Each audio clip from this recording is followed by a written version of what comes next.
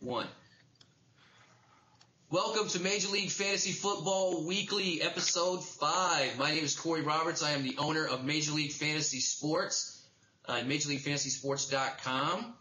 And I have with me today my co-host, my partner in crime, Mr. Lou Landers out there in LA. Wanted to go ahead and introduce uh, Lou. He is going to be, I would say, the more of the regular hosts on the show, um, just in this week to kind of help out a little bit. We've also got Mr. Jeff Nelson on the show with us this week. Uh, he is a defensive coach out there at Whitehall High School in Pennsylvania. Um, he's here to talk some football with us today. He's also been with our organization for what? How long has it been now, Jeff? What seven, seven, eight years? Almost eight years, I think. This year will be uh, eight for us because uh, I got yeah. Yeah, I think it'll be eight years. So, eight. Uh, Jeff's been around the block for quite a while. He's been, you know, he's been coaching for quite a while too. So he's, he's a good guy to chat with about X's and O's. And we also have Mike Stromme on the line with us as well. He is our assistant editor over at MajorLeagueFantasySports.com. He is also a football writer. His articles publish every Sunday. And right now he is focusing on the running back rankings. So, Mike, I just wanted to introduce you to the show. If you have a quick word or two you wanted to say, please go ahead. Of course, yeah, just like Corey was saying, I am the assistant editor at MajorLeagueFantasySports.com. My article, Stroll Me the Way, comes out every Monday morning now. Oh, it's Monday, that's right. Sunday, but it's morning. Yeah. I, I, I, just I just run the site. I don't know what the hell goes on. You know, I just you know, I have no idea what's going on. So anyway, uh, yeah. thanks, Mike. Uh, wanted to bring in our special guest, Mr. Matt Kelley to the show. And I wanted to allow Matt to kind of, you know, chat with the audience and let them know what he does, who he is, where you can find him, and that type of thing. So, Matt, uh, welcome to the show, sir. Thanks, Corey. Yes, I'm a very special guest. Uh, my website uh, that I, that I, yeah, that I am the uh, sort of curator for is called PlayerProfiler.com. Uh, it's an advanced metrics website. So essentially, if you want to see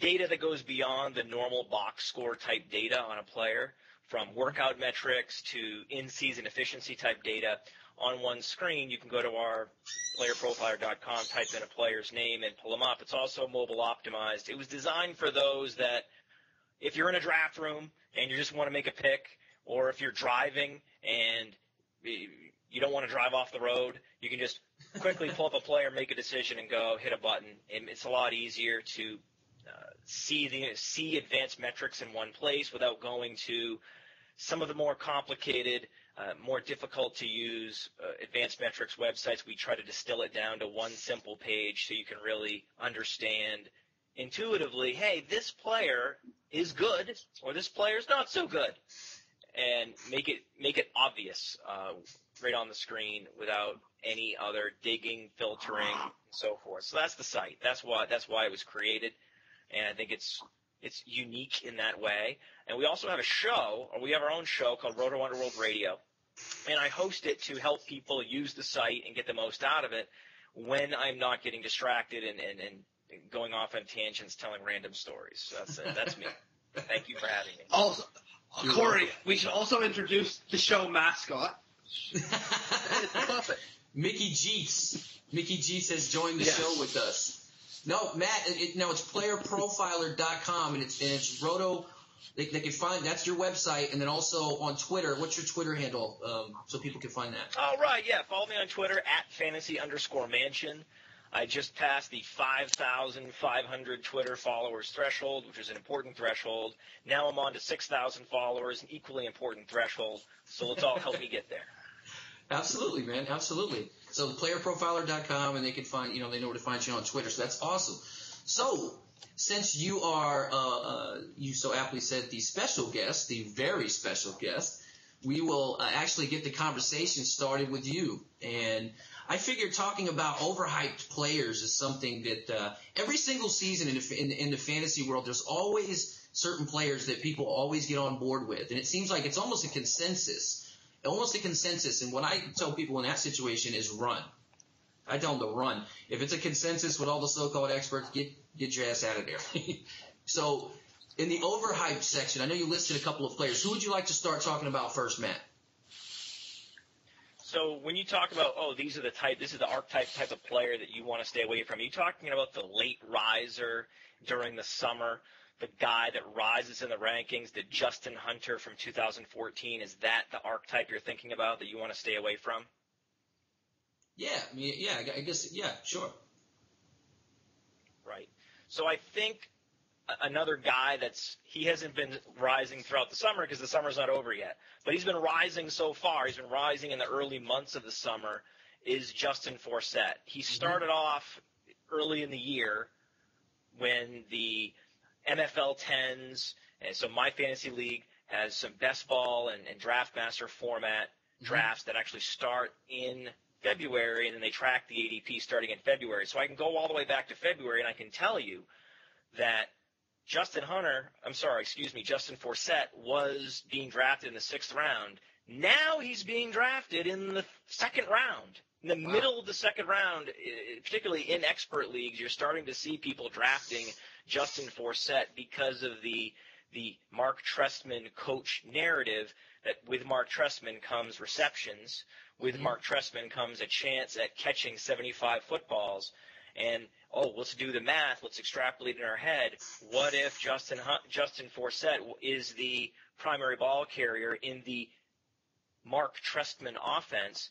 What does that mean? Well, all of a sudden you can start thinking, wow, this guy, who he could go rush for 1,300 yards and catch 75 footballs for another 500 yards, score mm-hmm. 10 touchdowns, and boom, that's he's one of the top running backs in football, and he's being now drafted like that, and it just doesn't make sense because he's a running back last year that they tried their best to not hand the starting job to. They said, "Oh, well, Ray Rice, okay, Ray Rice is out. Okay, well, how about Bernard Pierce? Oh, okay, never mind. Okay, well, how about Lorenzo Taliaferro? Oh, Right. he's not quite ready yet. Okay, I guess we're going to give it to Justin Forsett, and then Justin Forsett was great, but he was great for a partial season." And if you go to playerprofiler.com and you look at our workout metrics, which is where you see things like 40 times and burst score and agility score, Justin Forsett is not a great athlete. He's not particularly fast. He's not particularly explosive. He's not particularly quick, even for a small running back, 198 pounds. The reason why Justin Forsett is 30 years old and has never started a season as a starting running back in the NFL is because he's small and slow. That will never change. Doesn't matter who his coach is. So now you have to start to think, wow, okay, so we're really going to draft a player in the second round purely because we like his offensive coordinator. That to me is a recipe for overdrafting a player. Yes, yes, that very well could be. And let, let's get Stromme in on the on the conversation, uh, gentlemen. That's focusing on running backs on our website. So, uh, Mike, uh, do you want to piggyback off of, what Matt was saying, or do you want to add something else to that uh, that assertion? Um, what I'll say about Forsett is he he's been in the league for several years, whether it was bouncing around between practice rosters or losing his job to Marshawn Lynch like five years ago. Um, he's been around for a while, and he's only had real success last year. Mm-hmm.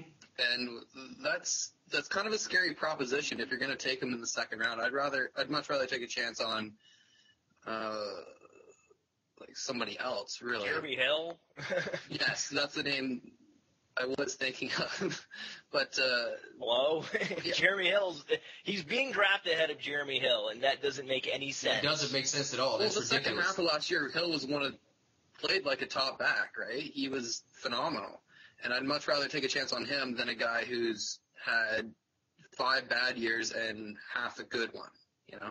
Let's let's get Lou in on this conversation too. Lou, Lou, what are your thoughts on, on Justin Forsett? And it's obvious, obviously, it's been pointed out that he's definitely being overhyped. So, what what, what are your thoughts? Yeah, I, I was going to say I have no issues with Justin Forsett as a starting running back for the Ravens. I do have an issue of him being drafted that high.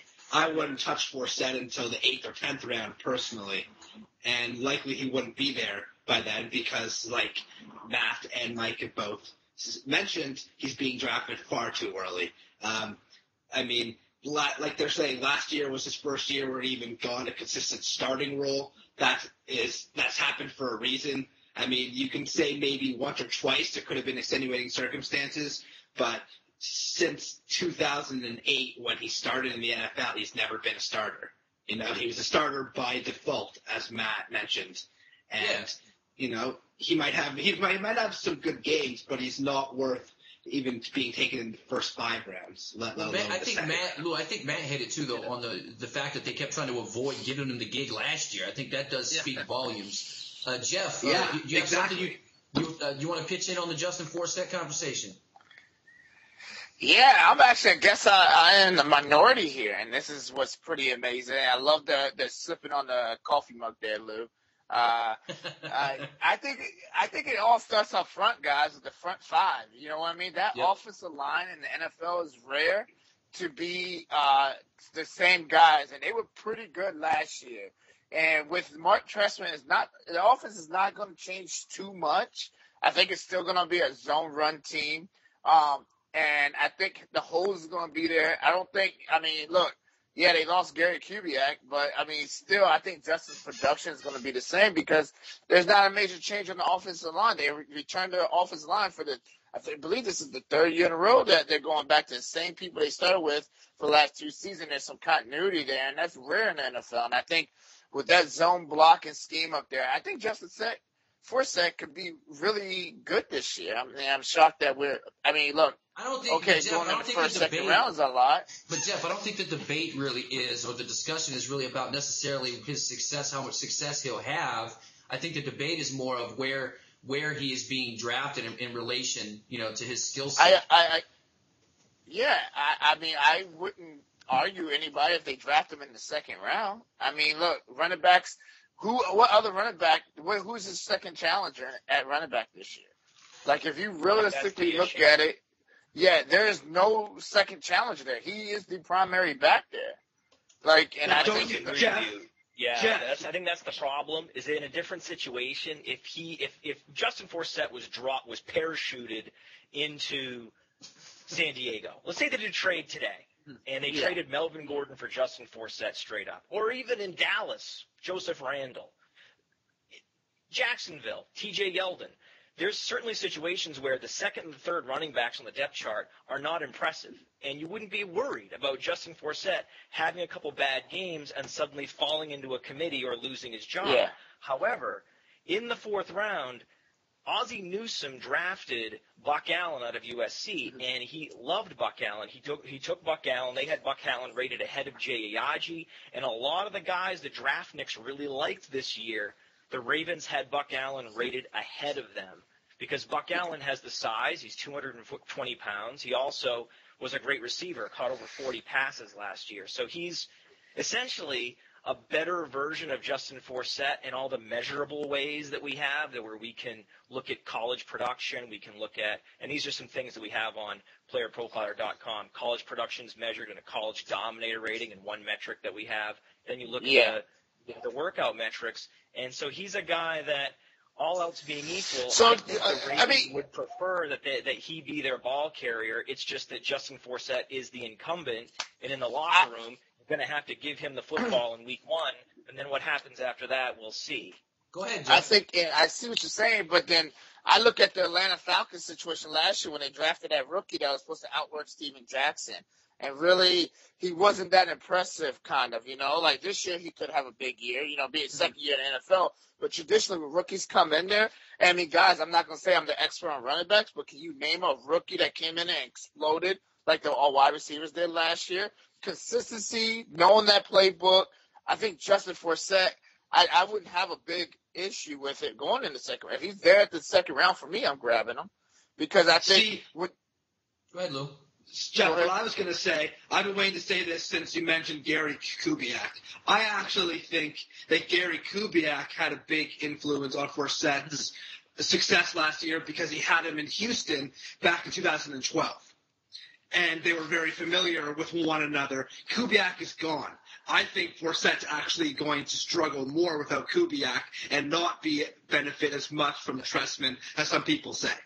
it'd be interesting to see. I mean, I think Hold on, hold on. it At, the- at the blocking, end of the day, and at the end of the day, it's about scheme. game of the offense is going to be the same. Well, Jeff, Jeff, it's about scheme anyway, right? I mean, when you when you switch, Yep, exactly. There's no doubt about it. But I know Trestman's a different coach, but at the end of the day, is the running is the scheme of the running game any different, or is it, or you know, how how is that actually set up It, between the two? I, I think when when it comes in, for example, for us, when we got a new defensive coordinator, we didn't change our scheme. We made minor tweaks here and there.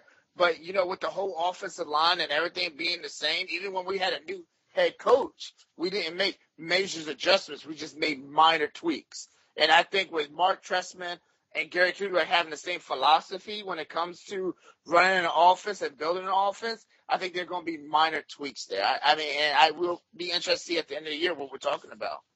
Oh, and by the way, uh, Matt, you, that was a great uh, segue uh, in, into Buck Allen. But before, and you, you did talk about him a little bit, so that's obviously you're putting Forsett on there. Buck Allen was a, was a, was a perfect thing to discuss. You're, you're talking about a remedy or somebody that might actually, you know, takes a piece of the role or part of the role, or maybe at some point, maybe, maybe Forsett gets hurt and he takes the entire role. You know, I mean, you just never know. Before we move on, I wanted to make sure I mentioned our partners because obviously he wasn't thinking clearly before we started the show. Real Deal Dynasty Sports, uh, our partner uh, Brian Lures, the owner of Real Deal Dynasty Sports, we wanted to thank him as well as Sports Palooza Radio Network, Lisa Gar and EJ, or excuse me, EJ Gar and Lisa Iannucci. Our baseball shows run every every Sunday night from seven to nine o'clock. Uh, Ron Chandler will be back on the show with us a week from uh, tomorrow. We have a great show tomorrow, and it's about the trading, all the crazy trades that have happened. Also, um, White River Graphics here in Indianapolis that provides us with the backdrops and provide me with the hats and, and all those types of things. Just wanted to make sure that I shout out our partners and people that we work with so I don't get like hate mail or something. So anyway, uh, Matt, did you want to drill in a little bit further on uh, Buck Allen, and then I'll let the other guys kind of kick in real quick, or do you do you want to move on? We can move on if you'd like. Well, here's my point on Buck Allen. Number, I don't want to I don't want to expand the scope of the argument too much, Mhm. but when I look at the if I were just to take a step back and look at the the backfield, look at the depth chart in Baltimore, Mhm. another guy I like is Lorenzo Taliaferro. Now, Lorenzo Taliaferro was also a fourth round pick last year. So it, the, the Ravens have been trying to use draft capital to to enhance their backfield uh, and, and move away from Justin Forsett. They have been doing that. Um, remember, Justin Forsett w- was uh, relegated by the Jaguars, and the Jaguars decided to go in the direction of Toby Gerhart in, Mhm. instead of Justin Forsett. That happened. Um, so these front multiple front offices have have a history of thinking to themselves, we need a guy that looks like a prototypical NFL workhorse, and that's what you saw with Cincinnati last year. We all, I think, we've seen Gio Bernard do some exciting stuff where he looks like someone is controlling him with a video game toggle. That's exciting. but at the end of the day, Cincinnati coaches, they just want the guy that looks like he looks the part. They want the Jeremy Hill in their early down role. And I think that that is always my assumption that that bias is at play in that, that that program is running in the back of the mind of the GM and the NFL head coach. And actually, that's what Lorenzo Taliaferro is. Lorenzo Taliaferro on PlayerProfiler.com has a, a well above average agility score. So if you look at weight adjusted agility, size adjusted agility, Mm-hmm. Lorenzo Taliaferro has some Le'Veon Bell type traits. So you could make the argument that in the passing game, that Buck Allen is the best receiver that they have in the backfield, and that in early downs, Lorenzo Taliaferro is the best player that they have maybe in that short role. yardage. Or And may- then maybe short yardage. Where, yeah, then the question is, well, what's Justin Forsett the best at? And the answer would be nothing really. He's just the guy that was there last year. No, those are all good points to make and stuff that you should factor. You should factor that all of that stuff into your thinking when you go to draft a guy, especially if you're spending an early round pick. And with you bringing up uh, uh, Jeremy Hill and then the Cincinnati backfield, we'll, we'll go ahead and transition there because I know Jeff wanted to talk about um, uh, Jeremy Hill. So, and, and you you have him in the overhyped section, Jeff. Jeff, I'm not hearing you, buddy. You turn your mic back on. Oh yeah, I'm here. I'm sorry. Yeah. Uh, I know you wanted to talk about Jeremy Hill. So, you know, let's talk a Yeah, little bit and now look, why why do you hold on? I- why I am- listed? Why is he listed overhyped to you? I, I think you know what was going on down there with that offensive coordinator. He is a power running, and I'm speaking strictly on a what I see as I envision the offense being turned out this year. Uh-huh. And I, I just see it as that Jeremy Hill Uh, a lot of defenses weren't prepared for him. Cincinnati, I think, you know, their offensive line is going to take a step back this year compared to what they were last year. Jeremy Hill is a very good, uh, you know, north-south runner. Um, but I think they get more involved in the, the screen game and go back to Giovanni, um, or, um, yeah, Giovanni. Giovanni I think his Bernard, name. yeah. Uh, what's his, yeah, right. I'm Bernard, sorry. yeah. Yeah, and I think they go back to that balance attack because that's what the NFL as a whole, as a whole compass is changing into. It's more of a two back. You got the, you know, the thunder and lightning of the past, and I think like Jeremy Hill, he's gonna cut into his production time. You know, he's not gonna be what he was valued at last year was a good pickup, but I think people are over picking him and grabbing him too early in the draft because they think he's gonna be something that he's not gonna be. He's not gonna be an every down back player, so he shouldn't grab him. I agree with Jeff wholeheartedly. In fact, I actually traded Jeremy Hill straight up in a Major League Fantasy Sports League Two for Matt Forte because I am convinced that Forte is going to have a lot more uh, playing time, see a lot more snaps, and I know the multi. Um, he's she's a multi-purpose, very versatile back, and I have to agree with Jeff on the fact that I just don't see Hill getting those every down snaps, especially with Gio Bernard there. I mean, Bernard got hurt last year. Correct me if I'm wrong, and that's kind of what got Hill as Yeah. many snaps as he did get. Yeah, and I think that's what's leading to when we refer to this. And I can't wait to hear Matt's opinion because I'm actually playing with his website right now. It's pretty cool. Let's get let's get give Mike involved. shout out to that first time. Let's let's get Mike involved in the conversation real quick. So, Mike, what what what is your uh, assessment of the Cincinnati backfield in regards to Hill? Well, I'm Big gonna be a little. Oh, I'm gonna be. Yeah, I'm gonna be a little bit of a contrarian here. I am a Hill believer, just to the simple fact that, um, you know, name me another running back who had a better second half than Jeremy Hill. Like he, when he did get the opportunity, he seized CJ it, Anderson. and uh, yeah, Well, he, he That's gave right. Mike. He Yeah. I got you. That was a great said it. I was like, I had to say it. I had to say it. Go, go ahead, go ahead. Mike. I was Go trying to think. Uh, oh. Yeah, finish your thought, man. But, uh, but yeah, like he had a monster. Yeah, he had a monster second half, and sure, Bernard's gonna get some snaps too. But I do think that Marvin Lewis and that coaching staff wants that, you know, big back that will carry the load for most of it. Like, I, I could see him getting maybe two thirds of the snaps there, and uh, using uh, Bernard as like a change of pace back. But I, I am a, I am a Jeremy Hill believer. Uh, Matt, would you like to uh, kick in? Mike, are you are you are you Canadian? Yes, you have two Canadians on here right now. Yes, I knew it. I knew that accent. I'm from Maine, so I, we have a lot of Canadians. So I'm I'm versed in in, in, in that Lou- hey, way of hey, Lou- speaking. Lou so I and- appreciate, Lou- both I Lou and appreciate the Mike. Canadian uh, flavor. Matt, Lou, both Lou and Mike are pretty Lou's much from the same area in Canadian, too. Canada. Both of them, Lou Oh, and Mike. That's Southern Ontario. Yep. Terrific. But I, I reside, I'm I partial reside in Los Angeles. Yeah. I reside in Los Angeles, so I'm not really that Canadian anymore. we could tell with the jacket. well, yeah, uh, Matt. Uh, you know, No do, do you want to Canadian kick? wear that jacket. Do you want to kick it on the Jeremy Hill, uh, Giovanni? No, actually, no. I take that back. At the Canadian, at the Toronto Film Festival, maybe. Yeah, yeah, yeah. yeah. So, Well, no, it'd be denim. so here are two things on this. Once, okay, so on the ADP charts, the ADP list on myfantasyleague.com, the running backs go Forte at 14, DeMarco mm-hmm. Murray at 15, okay. LeSean McCoy at 17, and then Jeremy Hill at 18. And I give you that context because I think that's the cutoff from LeSean McCoy to Jeremy Hill, I believe is a cutoff because that is actually the, the cutoff where the every down bell cows that you can rely on as an RB1 in fantasy, that's where they stop. And then Jeremy Hill is the beginning of a whole new tier, the best of the guys that are in shared backfield situations or are, we haven't seen them do it before, Todd Gurley, Melvin Gordon types. Mm-hmm. So I rarely will draft the player at the beginning of the next tier. So once the running backs, once it's sort of a bellwether situation. Once DeMarco, Forte, and McCoy are gone, I'm immediately in in a standard sort of redraft format, snake draft format.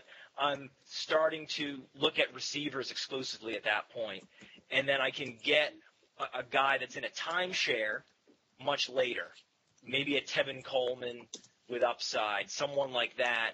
Many Joseph Randle. I can get some of those guys later, and I don't have to use second round draft capital on Jeremy Hill and miss out on Jordy Nelson, miss out on Mike Evans, because that's the opportunity cost of taking a Jeremy Hill. And if he's not an entrenched bell cow role because of the presence of Gio Bernard, I don't really have interest in Jeremy Hill in the second round. So I'll say that first of all. Okay. Second of all, I, I like to do touch math with my with my teams and put things in context as well. So if we start thinking about where some of these players are projected to go and the fantasy points for the season and the fantasy points per game that they're projected to score this year, Mhm. you start to add it up, and I want to tell you something interesting. Start to think about the fantasy points that need to be scored to support Jeremy Hill's ADP, Gio Bernard's ADP, AJ Green's ADP. Now who's rising? Marvin Jones. Now who's rising? Tyler Eifert. You start to do the math. That would require to support all of the, the, the costs of all these Bengals players, mm-hmm. it would require Andy Dalton to be a QB one in fantasy. So the offense for the Bengals is like not working. It's like I'd have to stretch that to the outer bounds of plausibility to believe that these Bengals are all worth what they're where they're going. I, I yeah, I, I agree with that, man. I mean, I don't chase point. personally. Personally, I don't. e- I don't chase running backs at all. I hardly, you know, I, I look for value. I'm looking for value, getting getting handcuffs, handcuff guys, or maybe a guy nobody's paying attention to that I could draft a few rounds later. I mean, I, I, I really try not to get into that into that pissing contest and and trying to get all the top end running backs because at the end of the day they're too expensive and they're too damn fragile too. By the way, they're too freaking fragile. And I just saw About that. Matt just turn into like the Incredible Hulk just now. It felt like he was just about to turn. When he was trying to contort his body, it looked like he was about to turn into the Hulk or something. Let's let, let let's yeah, move I mean, along. Andy Dalton is a top five quarterback. Okay. Yeah, let's move. Let's move it That's along, what guys. you need a superhero to, to, to, to switch bodies with Andy Dalton to support the costs of all these Bengals offensive players. I just I don't I, this math's not working for me with all with this stuff. That's just yeah, and that's and that's again, that's just you know your opportunity, your your basics of football is just you know looking at that type of situation and making an assessment. Um, let's let's go to Stromme. Let's go to, to Mr. Running Back himself. Uh, let's talk about another some underhype, some of your underhyped guys. Um, Charles Sims or, or LeGarrette Blount. Which one do you want to start with? Um, uh, let's go with Blount. And I think there's obviously a lot of negativity surrounding him, obviously with the the one game suspension. It is one game, but people are going to say, oh, he's he's suspended, and then they're going to get that you know recency bias of, oh, I'm not going to have him for a game. But the truth of the matter is, he's he's, he's going to play 15, and. uh Bill Belichick, like on offensively and defensively, he's kind of a chameleon. Instead of playing to his team's strengths, there, he'll look at the weakness of the opposition. I'm sorry. There we go. Your video feed came back. Sorry about that. Continue. oh, okay. Um, yeah, as I was saying, like from a play calling standpoint, Belich- Belichick's kind of a chameleon. Like instead of taking um, his strengths and just kind of pushing it on the opponent, he'll look for weaknesses in in his opposition, and there there'll be some times where he'll be he'll go up against a uh, like a run a team that'll struggle against the power run, and he'll run LeGarrette Blount into the into the ground.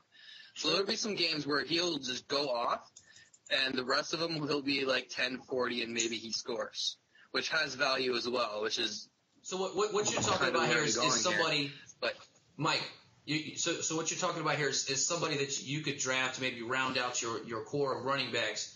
And if, you know if you're if I'm hearing you correctly, you're saying in certain matchups you assess what you were telling people is that he, he's going to get fed the rock against teams who can't stop the power run, and those should be games that you should play him. Is that basically what what I'm hearing? Yeah. Okay. essentially yes. Okay. Lou, And Lou what are your yeah, thoughts? There'll be other games where he'll have like a 10-40 and a touchdown. Okay, Lou, what are your thoughts? Well, I'm sorry. It's an interesting Um, point. I do like blunts, so I'm going to uh, already know that. say that I do I do like LeGarrette Blount, um, but I do have to agree that anytime you're starting a guy like LeGarrette Blount, you are it's really like a, it's it's a complete hit. He's going to have games where he's puts up like 20, 25 points and just hammers the rock pounds and pounds and pounds. And other times where he gets like two, three carries, does not have much success, and they go to somebody else. So um, I don't know. I mean, it, sorry, is he on your underhyped list or your overhyped list, Mike? Under. Under, yeah. I'm gonna have to disagree. I don't think he's underhyped. I think he's perfectly hyped.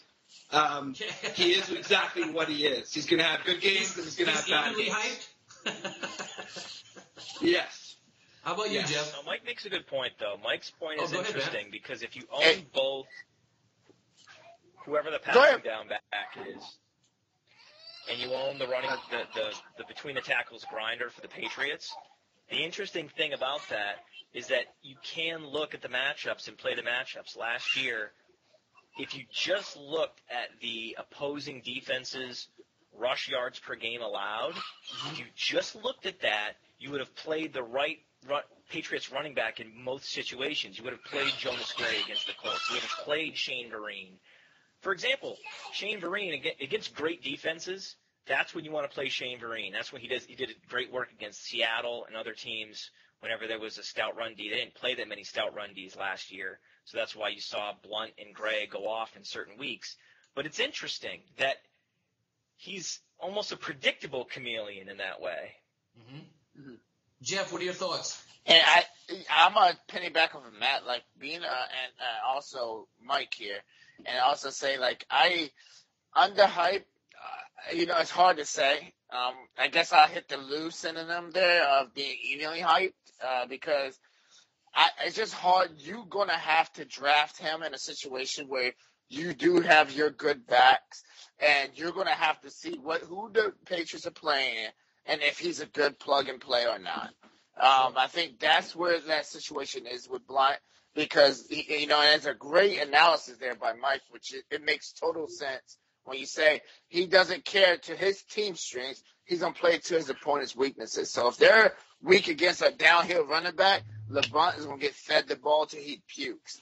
But if they're a team that's weak against the sweeps and the screens, then you're gonna have another running back in there, and Blount might touch the ball two times. You know, so I think like that's going to really be a, a matchup play. So I don't I don't know exactly where his ADP is right now. If somebody wants to shoot it out there, but like I see him being like a late round pick, like maybe tenth, eleventh, twelfth round pick, maybe a third, fourth running back off the board. He's going in the In, sixth in round. the sense of being undervalued, yeah. In the sense of uh, Blount being undervalued, I th- I just think people are going to take somebody who maybe has track speed or somebody who's you know kind of a sexier name than Blount. I don't really think he's gonna you know like you know what I'm trying to say there. Well, I think his name is very that. I respect the most have Blount higher than most.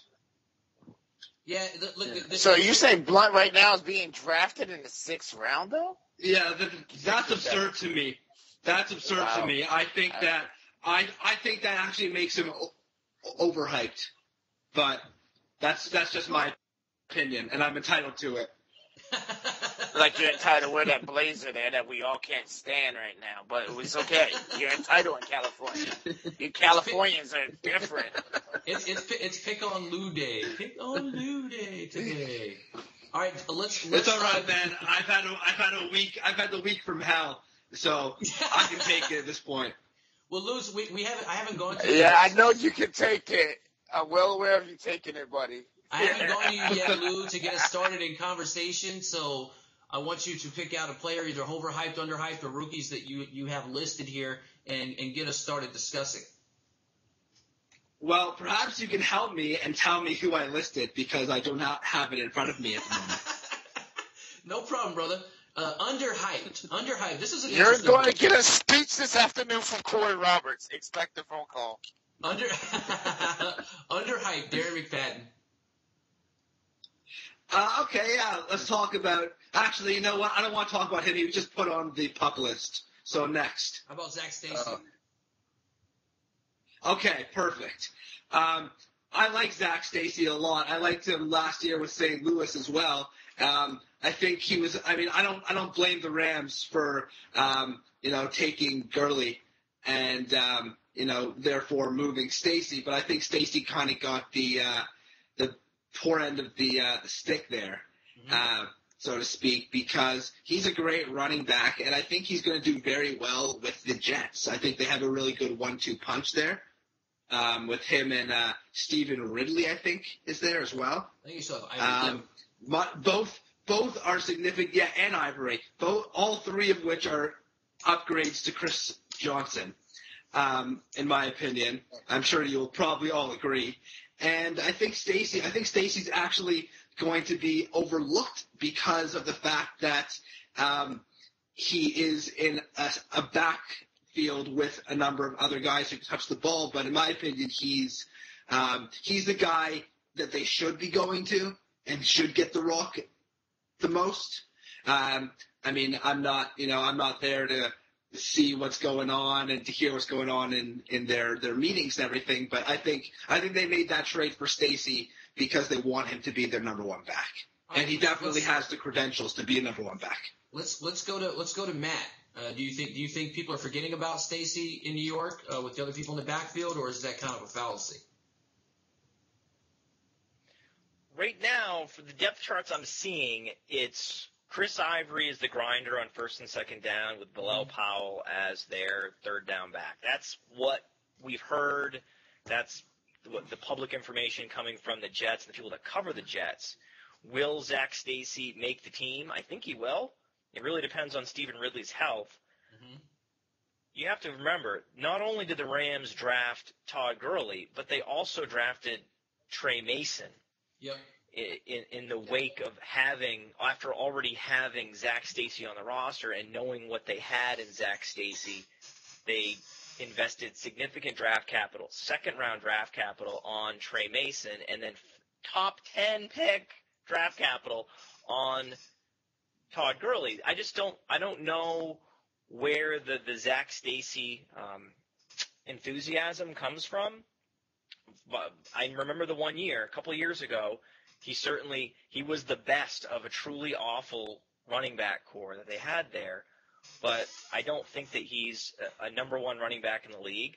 I think that when you watch him play, his metrics indicate that he is relatively fast for his size and very agile for his size. But when you watch him play, he doesn't seem to be the type of guy that's making people miss. He doesn't look like Le'Veon Bell. Le'Veon Bell's a big guy who's sneaky agile for a 230 pound player. Uh, Zac Stacy has similar measurables. He's big and sneaky agile, but he looks nothing like Le'Veon Bell on the football field. He looks more like a, a straight line plotter. I think if uh, the football fan were, were, would say who would compare more, most closely to Zac Stacy, Shonn Greene or Le'Veon Bell, they would select Shonn Greene, unfortunately. And this is coming from a place where, again, I liked Zac Stacy when he came out of Vanderbilt. I had him to be the guy to ascend to the top of that depth chart. But the moment they drafted Tre Mason, I knew it was his time the was writing over. was on the wall now that he's point. on, The writing was on the wall at that point. Once right? They, they well, brought in yeah, Mason. but yeah. maybe he holds him off. You want to give? I wanted to give him a chance to hold him off, but then the way things played out last year, he he really almost didn't put up a fight on the depth chart. It was strange to me because of the he wasn't the player that I saw the year before. Maybe he was hurt last year. Maybe he was playing through an injury, and that's why he didn't look the same. But either way, I, even if it's even if we're talking about best case scenario, Zac Stacy, I don't see him usurping Chris Ivory on the depth chart because Chris Ivory is one of the underrated smash mouth grinder first and second down bulldozer running backs in the NFL. I mean, he breaks more tackles according to Pro Football Focus on a per touch basis. Very few running backs, if any, break as many tackles as Chris Ivory has over the last few years. Like And I, uh, I on- gotta, and just to throw one thing out there, Matt. Like, and this is what I think when we we're all compiling this list today, we kind of overlooked Chris Ivory. Like, we can all say and say He's kinda awesome. overlooked- Yeah, we overlooked him, and we and like we got all these other guys that are underhyped here. But how about the biggest, uh, uh, possibly one of the biggest underhypes is going Chris Ivory, and where is he getting drafted at? Like, is he get? I, Yeah, for sure. His ADP is going to blow your mind. I just got Chris Ivory in a dynasty league in round 12 that has a Wow. a carry premium, meaning you get Wow. 0.25 points per carry, Wow. and everyone's Wow. rushing, rushing like like a flood of people flooding out of a building that's on fire to get running backs. And then I'm like, in the 12th round, I'm like, oh, I guess I'll just take Chris Ivory. Uh, yeah, he's garbage. really Let's understand why yeah, he's I'm available. available. Doesn't But, make all right, sense. whatever. Yeah, like you know, Yeah, guys, I right. think we'd all take. I think we'd all take him in the twelfth round. Absolutely. Yeah. Um, Oh, for that- sure. But my my biggest reason for bringing up Zac Stacy is that he could even go undrafted or go very very late. And based on the upside that he does have, in my opinion, that's what underhyped is where you can get him. that's what's great about being in America. Everyone can have an opinion, right? That's the great part about being in America, right? Canada too. But in Canada too, yeah. But the problem is, like, guys, like Zac Stacy is somebody I'm not touching. I mean, I'm staying No. away from Zac Stacy just on the grounds of, like, you got Powell, you got Chris Ivory, and then you don't know what's going to happen with Ridley. Do we all say Ridley showed promise at times with uh, the Patriots and He's that guy alone for a little bit? football. Wasn't that guy had fumbling troubles? Yeah. Even though he's on the pup, all right. But like, listen, I, I just think Zac Stacy got shafted. Let's be honest. He was in an unfortunate situation in St. Louis. He's not. I doubt. I, I'd be interested to see if he makes the team, but he will get picked up. Somebody that can use him is probably like somebody like Dallas. It's probably somebody like Oakland. It's Yeah. probably somebody alone. Even San Diego can use a running back back in the, to back up. So there's other teams out there that can really use Zac Stacy's services. And I'm just shocked that everybody didn't run for Zac Stacy and the Jets picked him up. But that's along with what the Jets do. You know, the Jets just do weird things at times. Well, well, like, to, they're just to- a weird organization. to make a point, to make a, to make a point, at this point, we're, we're all we're all kind of speculating as to what his role may or may not be, because we you know we obviously haven't seen you know preseason games and see how they're going to use him in the offense and what he actually looks like. So it's it's at this point bringing up him in discussion and talking about the fact that he's on the Jets, but then they have all this other talent is a great is a good conversation. And most people that are going to be watching or listening to the show you know, maybe they maybe they didn't realize Bilal Powell was still there. Maybe they didn't realize, uh, you know, Chris Ivory was still there. All they heard about was Ridley and and uh, and Zac Stacy. But no, they definitely have some decisions to make. That's for sure. They have some major decisions to make in this in that backfield. So it'd be interesting to see how it plays out. Interesting to see who ends up with the job. I would kind of lean more towards the Chris Ivory um, uh, side of things, the way you guys have discussed it. And then, but I, I'm not just going to throw Zac Stacy out, out the out the window and say Bilal Powell is just going to uh, be the number two guy. I I I think Zac Stacy's going to be the number two guy. And if something happens to Chris Ivory, and you know he goes down or whatever, Zac Stacy could step right in and, and handle that role. So I think you keep him on your radar, and you know obviously as the So they're going to carry four backs. I mean, three backs into the uh, season. No, I, didn't say that. Four I, backs I- almost. I didn't. like- I didn't say that. I'm talking about who's going to end up at one and two. That's what I was saying. Who's going to end up at one and two? I think Chris Ivory and, and Zac Stacy make it make a The nice only issue pair. with Stacy is he doesn't play on special teams. Yeah. Stacy's a little harder to carry on the roster because he doesn't play Yeah. on special teams. So that's where some other guys have advantages. That's how a guy like Bilal Powell sticks around. That's a good point. However, here's what I want to say about these late round running backs. I found myself being weirded out drafting Chris Ivory. I had to draft him just be, based on the talent profile and his role as a starter. Had to draft him. But I rarely find myself taking any running back on a bottom five offense. TJ Yeldon, whoever the guy is on the Browns, Isaiah Crowell at the moment. These are guys I almost never find myself drafting because their ceiling is so low, their volume, that the, the red zone opportunities, the reception opportunities are so much lower than a player like Eddie Lacy or whoever the next Eddie Lacy is going to be. I would much rather, for example, take a shot on a guy like Dan Herron, who could be a pass, a high volume passing down back on one of the best offenses in football, than I would taking shots on Duke Johnson and, and guys like that on the on the bottom of the barrel offenses. That's that's generally how I approach late round running back play. But this Chris Ivory was such an outlier, and it was just his ADP was so weird that I just found myself drafting him on principle. Well, I mean, that's low hanging fruit in the 12th Yeah, round. and that I- principle is going to pay gotta- you off, though. I gotta say something quickly. Um, I've been looking at statistics while you guys have been talking, and I like Cr- Cr- Chris Ivory as much as you guys do, but Chris Ivory's best season in the NFL isn't even as good as Zac Stacy's rookie season in the NFL. Just keep that in mind. That's Keep true. that in mind, and also remember the Rams suck. The Rams offensively are terrible, and they have been. Tell us how you really feel. I'm sorry, Stromme, but it's true. Ten long years, bud. Okay, Ten long so years. Look, look, let's get let's get Yeah. Mike in And this. so So, y'all Canadians stick together. Hold on, guys. Let's get Yeah. Mike in on, And on the going work out for conversation. you, Lou. This is going to work out because, like Jeff said, they're going to cut Zac Stacy. Dallas is going to pick him up. Joseph Randle's going to get busted for shoplifting again. Zac Stacy's going to be the starter. And you're going to Underwear. end up being right. Don't worry, man. You're going to be right. Yeah, I'm You're counting good. cards, man. I know Every it. time. I'm about to go get one myself right now. Hold on. Look, look. I want I want to hear something from Mike here, man. We we haven't uh, we, we've skipped over Mike. I want Mike to, to Okay. pitch in on this conversation. Honestly, it, it bogs my mind how long we sp- speaking about uh, Zac Stacy, but yeah, he, he had a great rookie year. But um, like, I watched obviously I watched a lot of Rams games, and there were times where he would just look like he was running into a brick wall. Like he just didn't have it. I don't know if he just wasn't picking up routes or whatever, or not reading the defenses. But he looked awful, and by the end of the year, he was the third guy on that offense in that depth chart. He was losing carries, obviously Tre Mason and Benny Cunningham. Like he just he, he fell out of favor, and there was a reason why they the Jets gave up a seventh round pick. That's all you know they would take for him. And honestly, I just I'm not a believer. I didn't rank him in my rankings. I'm not going to touch him unless maybe he moves to a situation like San Diego. Obviously, would be great. They have a great offensive line, and um, you know, say Melvin Gordon were to get hurt, he would he, might be okay there.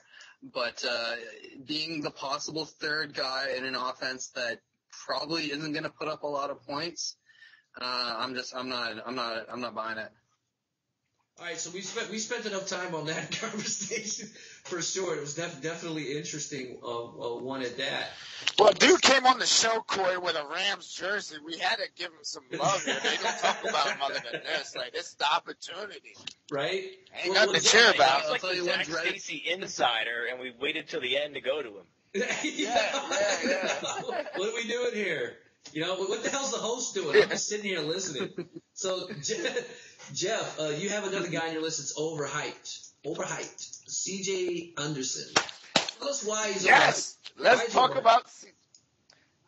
I it blows my mind again from one production of a half a season, and he gets drafted so high. People, let me tell you, Gary Kubiak. Guess what he is? A zone running offensive guy, right? Zone blocking, fill the holes, guy between the guards and tackles. He's going to run the ball. Guess who fits that power scheme? Montee Ball, people. I'm telling you, Montee Ball is going to have a big. Matt, I see your face, Matt. This is video live. I see the facial expressions, but let me tell you, Montee Ball. What did You're they do breaking at up. Wisconsin? You're literally breaking up. You are Ah. literally breaking up now. I said, what did they do at You literally Wisconsin? just broke up. what did they do at Wisconsin? Wisconsin runs Put the mic down, zone running scheme. So I'm telling you right now that expect Montee Ball to outwork CJ. CJ might get the job out of camp, but it's going to change, and Montee Ball is going to be that player that we all thought he was going to be. two to three years ago. He's been hurt in the last two years with injuries, and I get that, that everybody's hesitating on him, but he will be on my team as my third or fourth running Before- back this year. we 'cause go- everybody's before- overlooking him. Before, okay, Jeff. Before we go to anybody else, Matt, if if you would like, I will send you a a uh, a link so you can listen to our radio show last summer that we did on running backs, and you'll see how Oh, how much Jeff is in love with ball. Oh shit! Here we go. You'll, you'll see how much he's in love with this guy. And he Well, was we know how much Jeff was- loves balls. Hold on.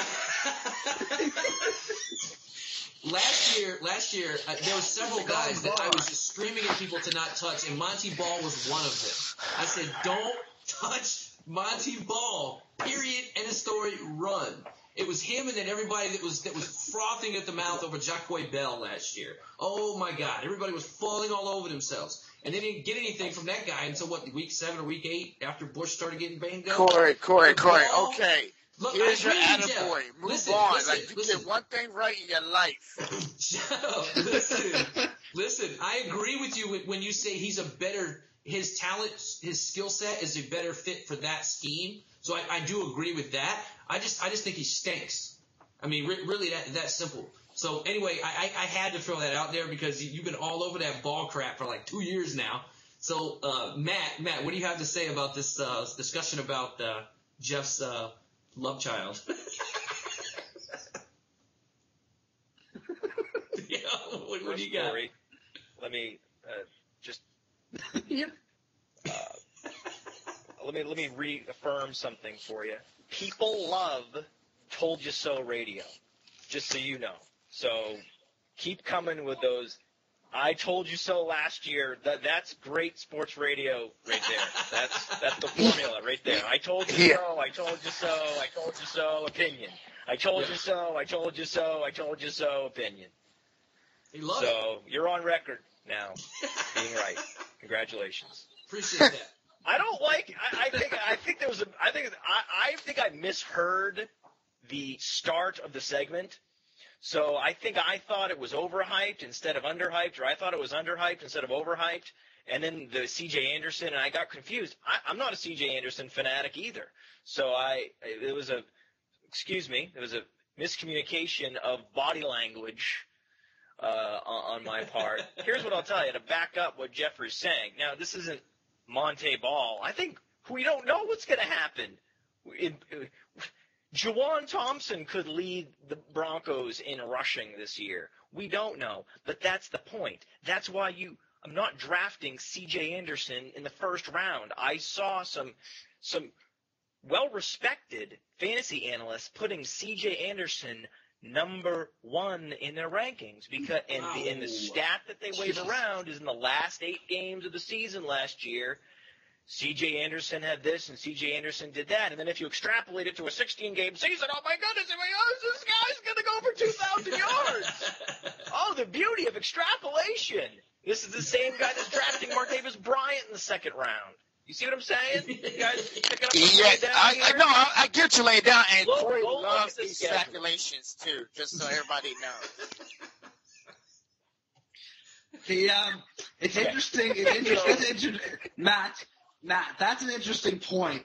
Um, also, I mean, it's it's Peyton Manning that's running that offense. You know what I mean? Like, it's it's almost like you could throw if you put any running back there, like C.J. Anderson kind of stepped in there, they're going to get their chances. Yes, Garbage can on wheels. Exactly. It's like, yeah, at the end of the day, it's like Pey- the, the offense goes through Peyton Manning's right arm and right shoulder, right? So as long as Peyton Manning is throwing passes and using the deep ball and hitting Demaryius Thomas, they're going to be able to run the ball effectively. Whoever it is is going to be good.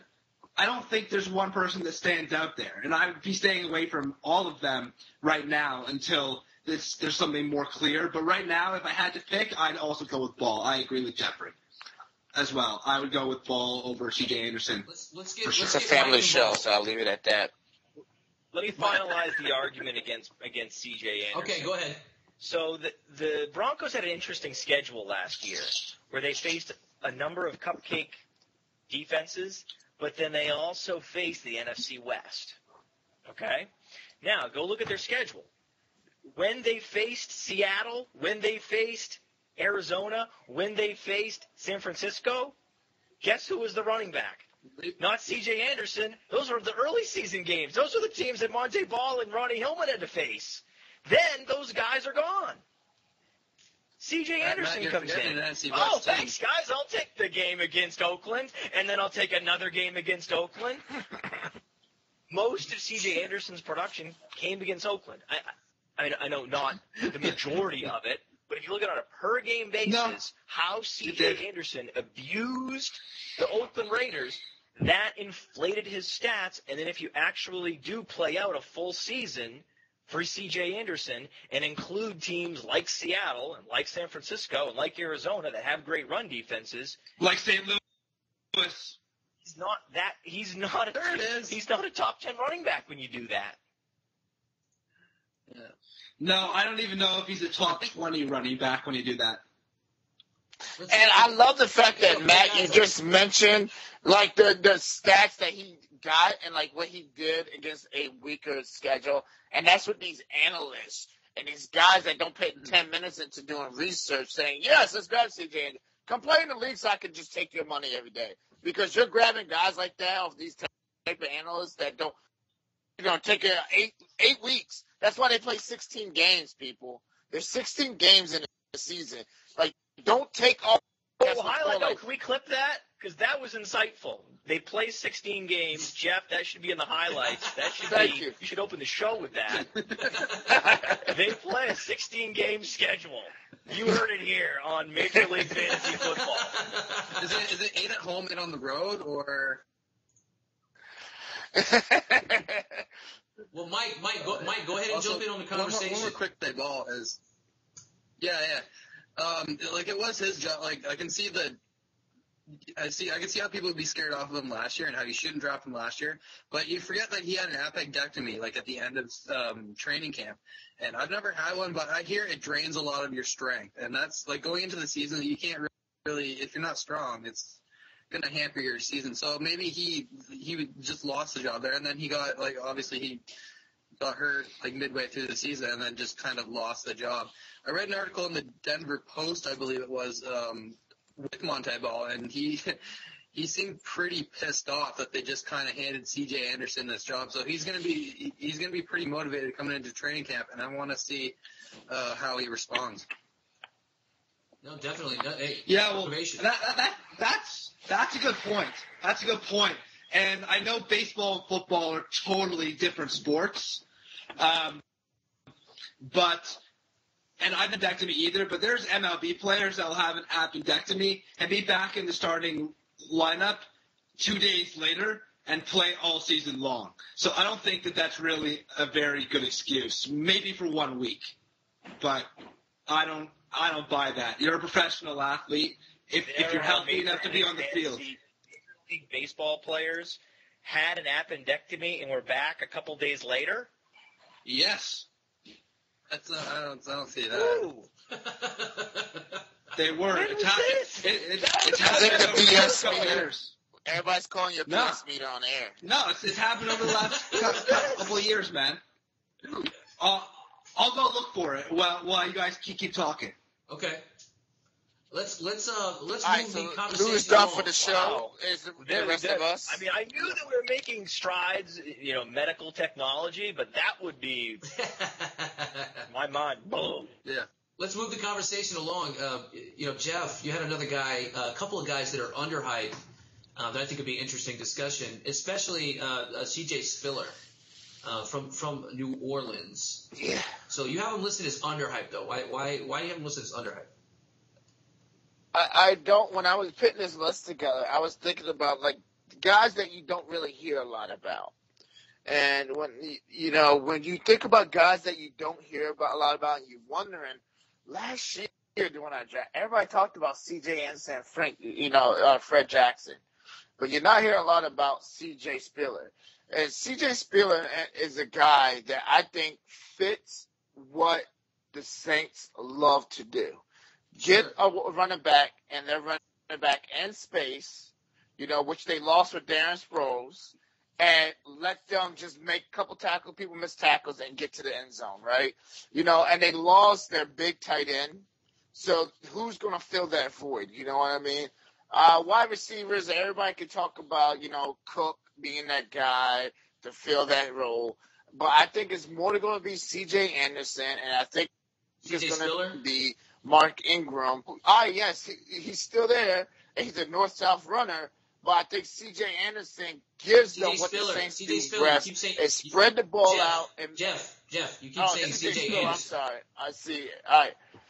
So I mean CJ Spiller, and then he's going to spread the, spread the ball out, and they they go, they're going to make things happen. And he just seems like his name is not gaining any traction. I think he's the model of what they do, and I see them going like I see him having a big year. Luke, go ahead. Got Go a ahead, Luke. 34 ADP right now, which is late third round. Hold on. Matt go, go ahead, Luke. Holliday of the St. Louis Cardinals. Matt Holliday of the St. Louis Cardinals had an appendectomy. Seven days later, was back in the lineup for the St. Louis Cardinals, playing left field and hitting third in their lineup. There's a difference from seven days to two days, I think, though. I said it. I said okay. I said a few days. First, I said a few days. Secondly, I said. Secondly, I said. Two is not seven. Ball. Can I have a few I- bucks from you? Okay. I also said. I also said I'll give Montee Ball a week to use that as an excuse, but not an entire season. No, no, no. You're, you're, you're Also- We'll play it back. I didn't Lou. say seven games. I Yeah, didn't say Lou, seven games. Lou. I said seven days. Lou, Lou, your your point was made that he that it came back relatively quickly. I think that was the point you were trying to make. Uh, How many days it was? Who cares? Exactly. He came back in seven days, but I see Matt Yeah. squirming around down there, so, I, so I'm going to go to Matt right here. go ahead, Matt. No, I, no, I think it's, I think it's a push. I think it's, I think it's a push because I, because I have to admit, I'm impressed that any athlete came back after only seven days from an appendectomy. That means, I that means can't the, hear anything. the incision Hey, point Matt, isn't even Matt, fully healed. Matt. so that's impressive. I have to say, I have Matt. I'm impressed. Matt, hold on a second, buddy. Yeah, we're yeah. we're um we're getting some feedback on your mic. Yeah, we I can't hear you now at all. Yeah, I, I couldn't hear. Um, I couldn't hear a word he said. I couldn't hear him either. Okay, so so we'll, we'll go to Mike Stromme. Stromme, CJ Spiller. That is hilarious. Go ahead, Mike. CJ Spiller. okay. Uh, CJ Spiller. Um, all right. Well, now that he's essentially going to take the Pierre Thomas role in that offense as uh, like the main pass catching running back.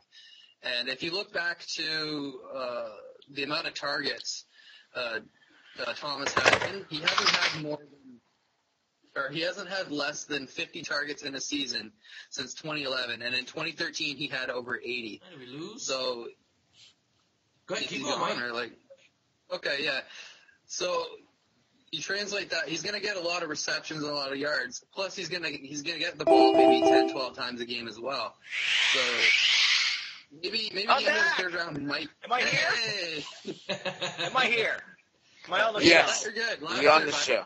Yep, we got Okay, you. We all got I was now. saying was it's very impressive that the guy's back seven days after a major surgery to remove an organ, and the incision point hasn't even healed yet, and he's playing sports. Now, my question is, how frequently does Matt Holliday get tackled around the waist and dragged to the ground? Oh yeah, of course. I, I, I prefaced my entire point by saying the sports are totally um, di- different. All I'm saying is that Right. I don't think you can blame an entire season on on that surgery. Is is what my point was. Yeah. Maybe a week, maybe two. Yeah, no, then he I came back and he tore his groin right after is what happened. So the poor guy. I mean, I've never torn my groin, but I would rather have my appendix out than tear my groin. I've been kicked in the groin, so I know what that feels like. Yeah. Corey, we all know you don't have groins, so stop pretending. Quiet, Jeff. Nobody asked you to speak, sir. Anyway, uh, Go uh ahead. Stromme, let, hold on. Let Stromme finish his point when he was talking about Spiller. Yeah, when we brought Matt back in. Go ahead. Well, bottom line with Spiller is he's he's a running back with tons of speed. He can catch the ball. He's going to get a ton of targets, and he's going to get the ball like 10, 12 times a game. That's uh, there's there's a lot. He's going to get a lot of action there, and there's there's significant value there. I don't know if I take him at the end of the third round. That might be a little high for somebody who's only on the field in passing downs, but uh, he's going to have some success there. Yeah, um, um, Matt, did you want to kick in on the on the Spiller conversation? My my thing was Spiller. I agree on Spiller. I'm on board. I'm not going to argue on Spiller. I love Spiller, and the nice thing is, is when you when you do have a, a roster construction where you have a guy with with blazing speed last year, Kenny Stills. Now this year, Brandin Cooks stretching the field vertically, but then you also have a Marques Colston stretching the field horizontally. That's what creates space. Mm-hmm. And C.J. Spiller was essentially playing football in a closet. So the offense was completely different in, in, in Buffalo when he was there. I know they had Sammy Watkins for part of the season. He was there last year, but most of the time he was in the anemic offense. When you thought of the anemic offense of the NFL, you thought of the Buffalo Bills. So he was both misused and misused within an overall offensive system that was devoid of other skill players other than him. Now he's going to the complete opposite situation, polar opposite situation where now he has a great quarterback. There's other weapons occupying defenders, we are actually going to see for the first time since Clemson the real CJ Spiller yes. will stand up, and I'm excited about it. Yep, yep, I'm 100 percent on board. Yeah, if I could add one quick thing, real quick. Hold on, Jeff. Okay. Um, I, mean, I'm all on board with that. It's all about scheme. That's all this is all about. You, you take any player in the NFL with a great skill set and you put him in a scheme that fits his skill set, he's going to be a Pro Bowler. But if you, you put him in a scheme that doesn't fit his skill set, if you got a guy that likes to run off the edges and you, you want him to run, you know, between the tackles or you want him to run between the guard and the center and, you know, uh, as like a one cut guy, which is not CJ Spiller's game, then he's not going to be able to succeed long term. You put him in an offense, uh, you know, with Drew Brees and in New Orleans, you know they like to sling it. You know he's going to get screen passes. You know he's going to get the opportunity to touch the football. So I, I love Spiller this year. He, he's one of the guys that I'm targeting I'm hoping everybody is, is just on board with, with Ingram because, you know, I, I think I could get him to round out my, um, uh, my running back core at Major League Fantasy Football. So yeah, I'll be targeting him big time. Very happy with it. But I want to go to Jeff real quick though. Jeff tried to jump in. Uh, just a sec, Luke. Jeff, go ahead. Yeah, I was just gonna just make. I think what helps with CJ Spiller is that he doesn't have to be a north-south runner, and I think that's where a lot of his injuries come in because he's more of a you know, put him out in the zone and see what happens yeah. type of um, running back. Mm-hmm. I think in Buffalo he had to be a north-south runner because of the type of offense they run. Uh, where you know New England runs and Sean Payton, that type of offense is more of a spread them out. Let's let's get the ball to our talent and make game plans and have plays packages together for CJ Spiller. So I think his skill set um, is going to be great in New Orleans. No, absolutely. Yeah, well, it it sucks to be the last guy to get to talk about Spiller because you guys have pretty much said said everything I want to say. Um, but um, what I can add, and if you disagree, I'd like to hear it. But I would say the Saints and Drew Brees are probably one of, if not the best screen teams and screen quarterbacks in the NFL. And as to go with what you guys were saying, what Corey was saying with scheme, it's just a perfect fit for Spiller. I mean, who was his quarterback when he was in Buffalo? I can't even remember. That's true. exactly. Um, I mean, he hasn't had one. Ryan Fitzpatrick. Yeah, exactly. Fitzpatrick, Manuel, Kyle Orton, who apparently is retired now. Um, and, I don't believe that. Um, uh, so, you know, like it's, it's, it, I don't think he could have gone to a better place for his skill set. I really don't. Okay. Let's let's move on and talk about another. Uh, I think I think somewhat controversial. I mean, I, again, I listen to lots of different shows when I'm out and about. Some stuff on Sirius Satellite Radio, and I try to peek in and listen as much as I can. And I hear conflicting um, conflicting feelings between different uh, people within the industry in regards to LeSean McCoy this year. So um, I wanted to Jeff to get us started on LeSean McCoy. This is a, an under. You listen again. You listen to him as underhyped. Underhyped. He is underhyped. I don't know his draft status, and I just like when I listen to all these shows and other podcasts, and people are like, "Stay away from LeSean McCoy. He he's gonna be not what he was in Philadelphia. He's not in the Chip Kelly offense. Blah blah blah blah blah." let's talk about his offensive coordinator and Greg Roman, who is not bad, who has history, who was uh, part of the pedigree with Bill Belichick. Uh, uh, Bill, uh, yeah, for the Ravens when they were there. He was part of their pedigree. What do they like to do? Do you remember a guy named Jeremy Lewis that used to get the ball all the time, that developed a lot of screens in, in uh, Jamal Baltimore? Lewis? Jamal Lewis? Jamal Lewis, yeah, yeah. And then you also got, you know, Frank Gore out in San Francisco and how he developed. Yes, Frank Gore is more of a north-south runner, but you know he had packages together, to get guys out there and get the ball. I think Greg Roman is going to make LeSean McCoy that running back to make him a top ten fantasy this year. I think really that offense, besides Sammy Watkins, or Watkins, um, has really nothing else there. And I see just being LeSean McCoy and Sammy Watkins, uh, Watkins, if I'm pronouncing his last name, forgive me, but it's going to be the guy that really sits back and I think can help with that pecking order of how many points can you get and spreading the ball out. I think LeSean McCoy is very underrated this year and could be a top ten pick depending on where you get him. Okay, let's let's let's go to Matt. Buffalo. One word, that's it. All right, let's move on. Yeah. Is that all you got? That's all at Buffalo. Yeah, I don't draft. I don't use you know, top three round draft capital on skill position players on bottom five offenses. So I just copy and paste my analysis from T.J. Yeldon, from even Arian Foster. I, I'm not an Arian Foster guy because he his quarterback is the worst quarterback in the league, Brian Hoyer. So no, I'm not drafting. Similar, similar re- reasoning. It's. I, I wish it was more complicated. I wish I had some advanced metrics for you, but I don't. No, you don't. You don't need it. You don't, you don't need it, and that's that's what we preach a lot. Is that in this in this circumstance, what you're doing with advanced metrics is just trying to back up what you think you see with your eyes and what you understand with uh, about the game, or maybe find some value rooted in there somewhere. But at the end of the day, yeah, I mean, if you know, if you take that type of a common sense approach, I don't want anything to do with team with a bad offense and the running game. I mean, you can't really argue too much with that. To be honest with you, uh, Lou, what do you got on on uh, McCoy?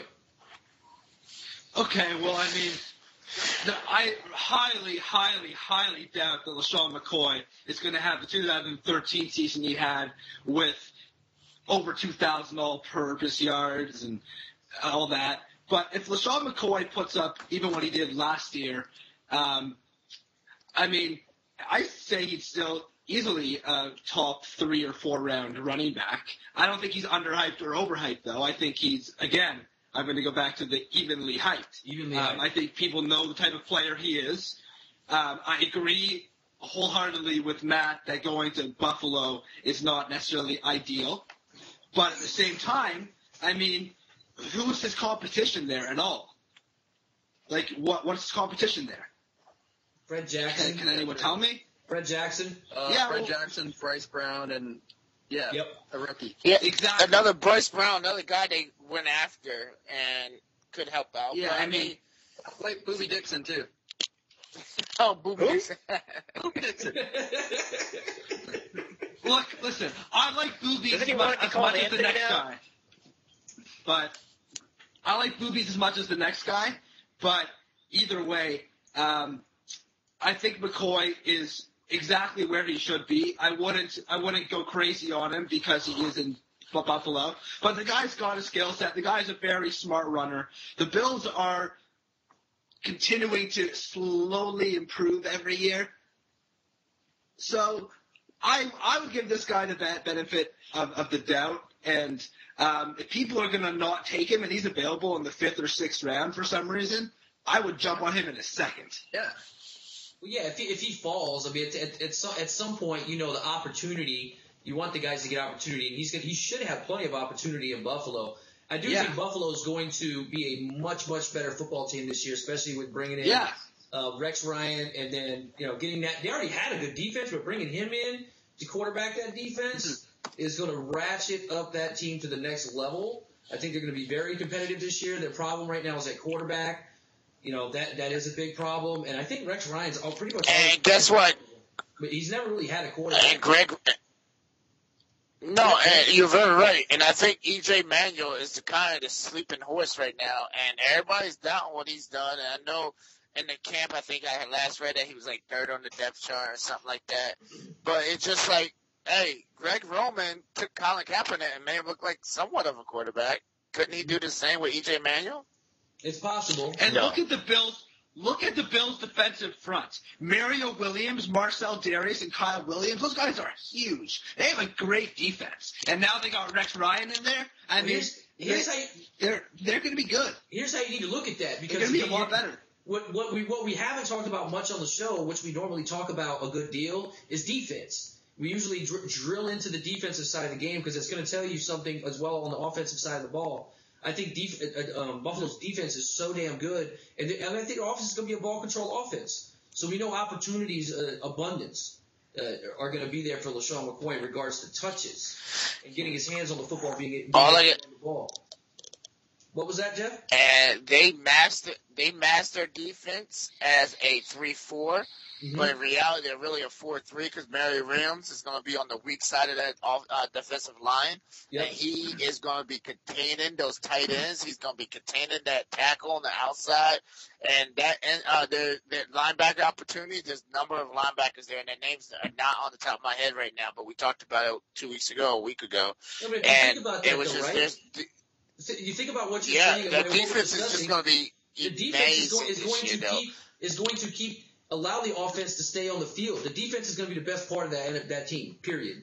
The defense is going to be the best Preston part. Brown, Jeff. And they're going to want Uh, yeah, Preston, Preston Brown. Yes, thank you, Lord. Preston Brown and the IDP. Really quick, I know we're on I um really on um offenses Right, right, yeah. now, but Preston Brown is a guy that I would grab up this year. And I'm telling you, do you remember the Baltimore Ravens when they had Trent Dilfer as their quarterback? and no offense really, and that defense taking them all the way to the Super Bowl. Like Buffalo could be that type of guy because that Same with the the, Bucks seven with Brad Johnson. is amazing. Same I with mean, the Bucks with Brad Johnson. that, back they run a Tampa two defense is a little bit different, guys. But like it's, yeah, but yes, I give you that. Yes, I could, Yeah. I could see that. But I see it more likely and possible sitting there in Buffalo because of that defense. And I know Matt looks like his head Yeah. is about to yeah. explode. But like getting the IDP conversations back, I'm telling you, bro. Preston Wilson, I mean Preston Brown good. is uh, is Could be going a to be. Super Bowl contender. Is this is this I, happening? I would say I, we didn't say Super Bowl I was contender. looking around. We didn't I, say wanted- that. I didn't know if the sky was falling. I wanted to make sure that I was in the right dimension of the universe. I didn't know if I was So we gotta an say things like this. experience. Matt, like, let me explain what happens on the show. star when you- like Matt, what happens on the show? We say a lot of crazy things, like Corey said last year about Montee Ball, so we can get it right once in a while. So that's why we got this, okay? Speaking of outside the universe, I saw a documentary last night about UFOs and how there's a whole government conspiracy. Stop, stop. Okay, Um, all right. Un- A whole government conspiracy behind this. So Oh, we, we we've totally You know, degenerated. Who's next? something. Can we get to the Matt- rookies? Yeah, let's let's let's, Matt let's might Can we be get into onto the something. rookies right now? yes Luke yes let's let's Is in on, hold on. California. Do we need to say anything else? He's in California. We- We, we don't know. need to Slow- say slow anything What down. else. medical he's got down there? Slow down, guys. We're, we're gonna we're gonna we're gonna move I have the a question for conversation on. Jeff. Jeff, I have a quick question for you. I need to ask Jeff a question. Go ahead. Jeff, give me a couple wide receivers that you like under the radar. Ooh. Ah, you put me on a spot there. Under the Cole radar. Beasley. Cole Uh, well, definitely Cole Beasley. I can see that. Okay, Cole Beasley. Uh, That's one. One more. One more. One more. Nelson uh, from uh, Philadelphia. Nelson. Uh, Nelson Ale- Agholor. Whatever it is. Yep, he's number two as a rookie. I know he's a rookie, but I think he can fit well into that offense. Um, I think How about everybody's more Rueben under the talking radar. More under the radar. Just a little under the Rueben radar. Rueben Randle. Rueben Randle. No, I don't. Okay. How about Victor Cruz? Victor Cruz. Nobody's talking about Victor Cruz. You want to talk about somebody radar. here? More Talk about Jeffrey, One more. Just one more. A little more under the radar. I, I I don't know how deep under the radar you want to get, man. Let's see. Uh, Just the Huh? next level down from Cruz. the very bottom. I No, mean, I would just go one, Martavis one Bryant. little Well, less. what no, uh, Bryant. Martavis Bryant. Martavis from, uh, Bryant. uh, okay, Pittsburgh. that's what I'm Yes. talking about. Okay, so I just want to recap.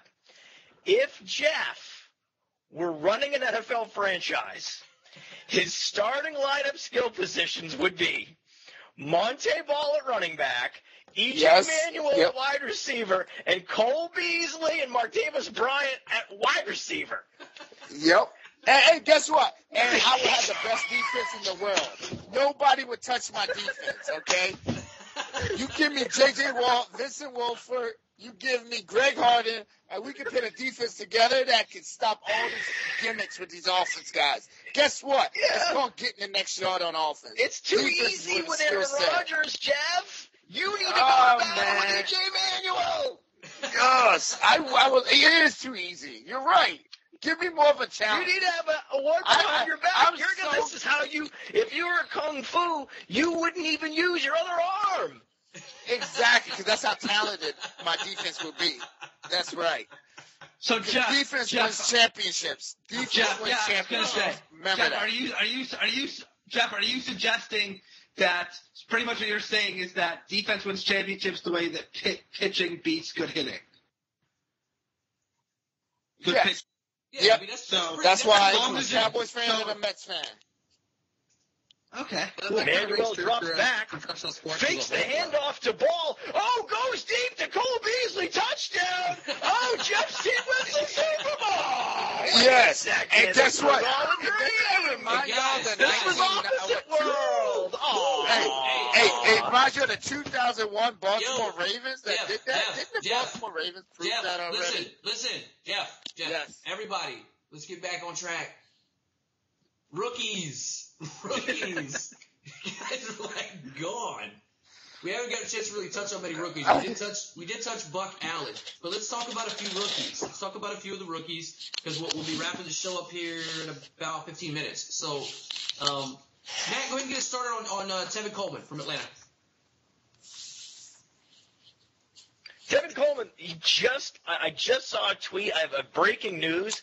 We would run a breaking news sound. It's some breaking news from the Atlanta Falcons. Tevin Coleman was quoted saying that he believes he will be the starting running back to start the season, which is, of course, where they all think that they're going to be the starting running back, of course. But to say it publicly to a reporter in the locker room with Devonta Freeman sitting next to you, I love it. Definitely ballsy. Ballsy for sure.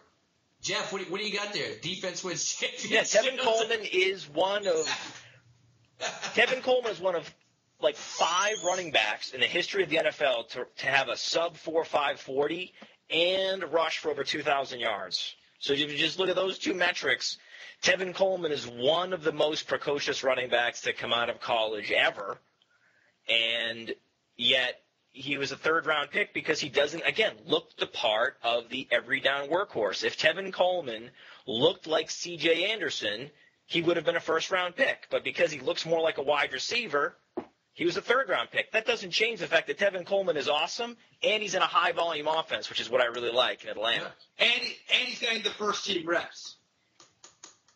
No, that's that's that. Do, Yeah, do this we think- guy, what, this do, what do Tevin we Coleman, think get ready. Matt. Matt, Get ready. He's a home here? run hitter.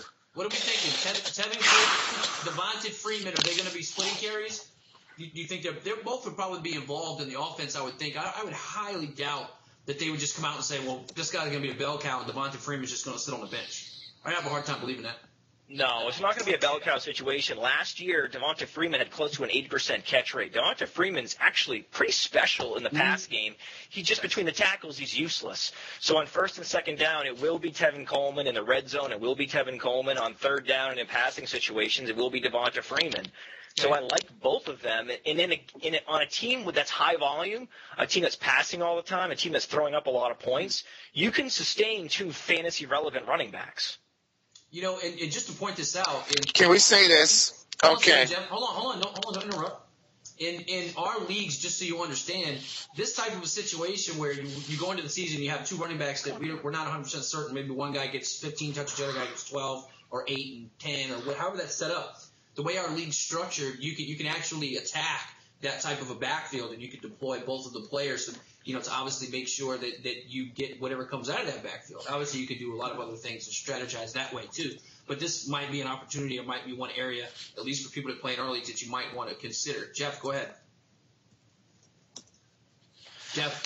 This is what I gotta say about your man. That I, I, I love him. I, I he's an Indiana guy. You know what I mean? Big Ten all the way. Um, but Oh, this is some preface before you trash the guy. Okay, all right. Nothing but respect for him, but. Yes, but the college stat. Let's go in his fresh, like 2012, where he only got the game. He was in the game 12 times, had 51 carries, 225 yards for the season. Well, let's go to his junior year. Oh wait, hold on. Yeah, he played in nine games, got 131, and barely, not even close to a thousand yards. So he was at 958. Oh, let's go to the one good year he had in Indiana and say, oh, he got 270 attempts, almost double his attempts, and he ran over 2,000 yards. And let's crown him as the best running back for the rookie class this year. I, I mean, I think Oh, Freeman number three. and I, I could s- uh, number three rookie. Okay, well, I mean, I just look at it like this: F- Freeman has a year in the NFL. Um, Devonta Freeman could do it. He could be that special guy. They're going to be splitting carries. I don't think he Coleman's going to run away with his job.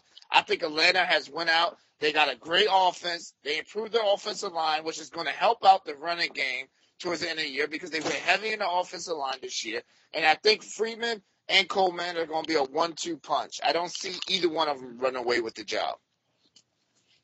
Okay. I think Coleman But will I- I literally run away from the job with the job. He will literally I run mean, away the opposite direction. an 80-yard run in preseason, South. and he will be the early down guy. South. Let's let's get Maybe Mike involved, south, guys. I want right? to get Maybe I want south, to get Mike you involved in the conversation here. Yeah. I want to get Mike involved. Mike, ahead, Mike here. Mike, what do you got to say? Mike, Okay, Mike, what do you got to say? Good.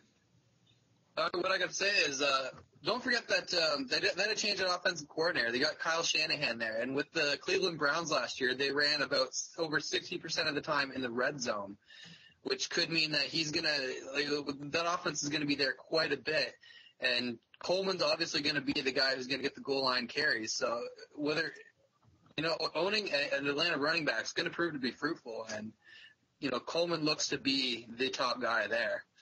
I mean, Freeman is going to be the, the change of pace guy, but and the guy you you throw the sweep past or the you know the check down to, but In, in, in in, the red zone it's going to be what you're saying. Coleman, and he I wouldn't be surprised if he put up double digit touchdowns. Lou, real quick, I want to I want to rapid fire a couple more. It's a rookies real value conversation, right? These guys are going in the sixth round or later.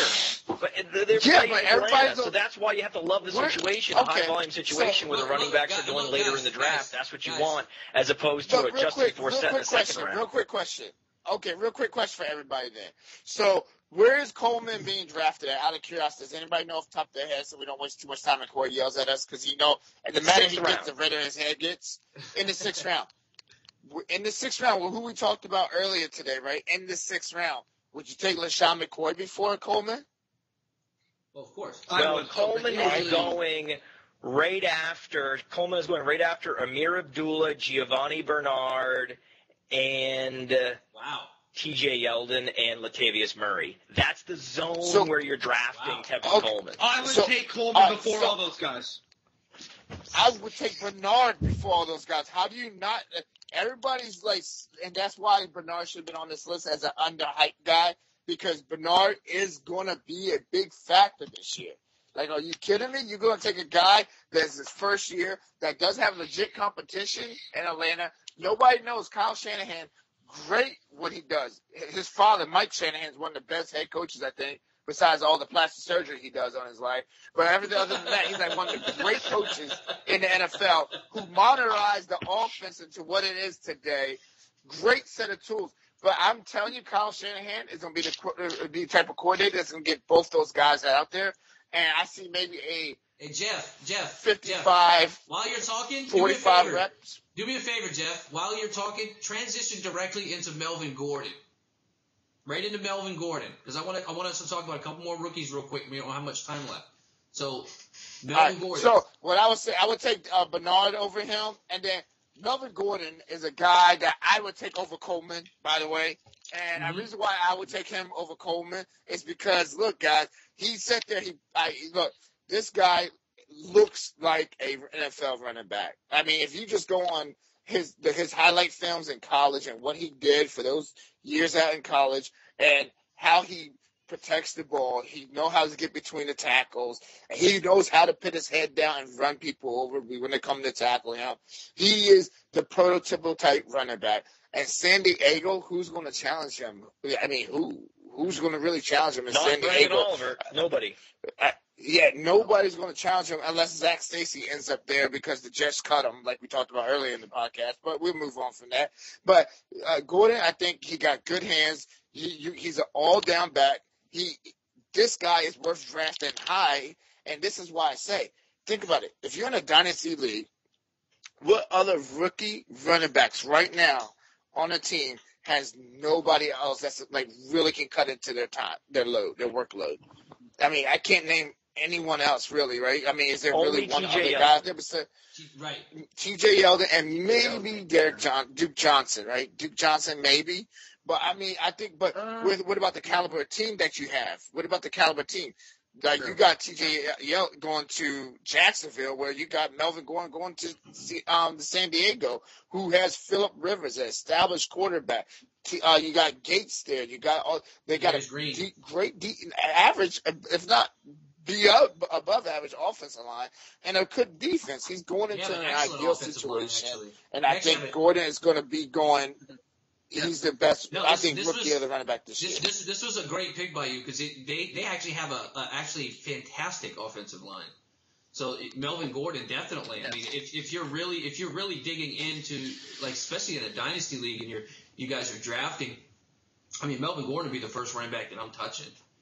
I mean, at least the rookies. That would be the first one that I would take. I mean, I think the And, running and, and, and Corey, just to add one more thing, just so Sure. you know, Matt sees this. I mean, we we understand everything else you're going for, right? Can you keep that up for the rest of the show, Jeff? If someone's tuning in late, we want to make sure they get the message. Just hold that up for the rest of the show. okay, yeah, I got it. go, go ahead, uh, uh, Matt. Talk to us about Melvin Gordon real quick, and then we'll go to Lou and Mike after that. What about Mike? Mike, is Mike here? Mike, what do you have to say about this? I want to hear your I'm trying to opinion. get, trying to get a word in edgewise with these guys, and yeah. It's hard. It's hard. That, No, I'm, I I'm think, here trying to uh, keep the peace. Go ahead, Mike. yeah, Mike, get in there. Talk over him, Mike. Talk like I just did. See what I just did there? Talk over him. that's just the Canadian in me. I'm polite. I want to let these guys go do their thing. Don't and, be you know, polite. sorry. Talk over me. I'm talking right now. Talk over me right now. Go, Okay, Mike. go Let's ahead. practice. Talk over me right now. Start I don't know talking. if I can. Start talking. Start talking. Get it, Mike.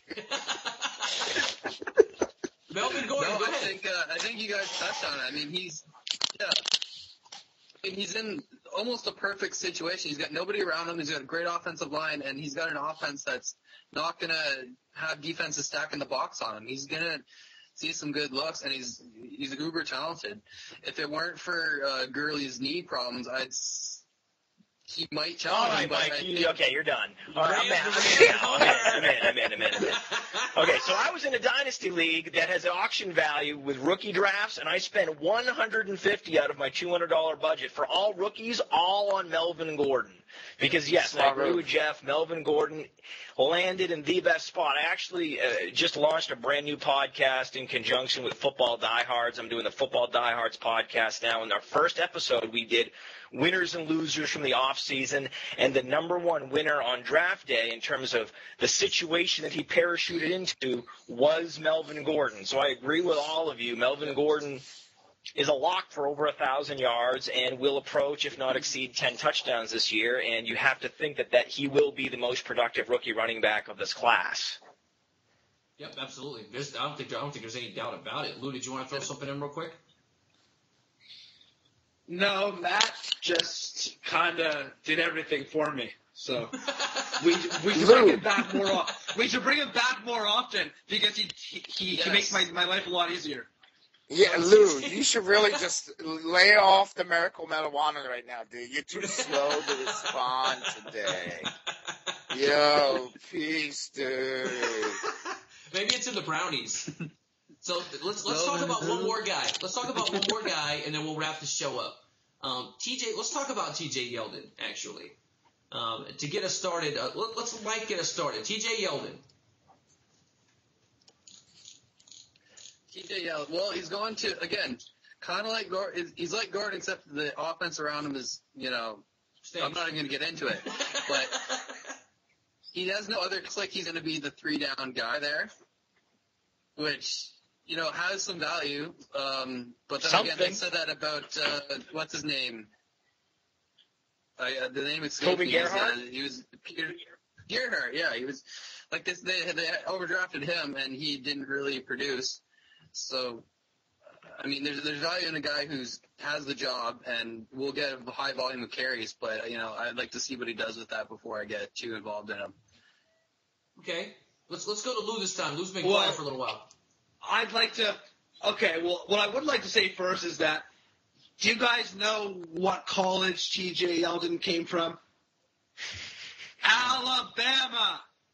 What happens when Alabama players come to the NFL? They are awesome because that is how that system works. They prepare players for the NFL. I don't care if Jacksonville is not good. He will make them better. He's the answer for them at running back.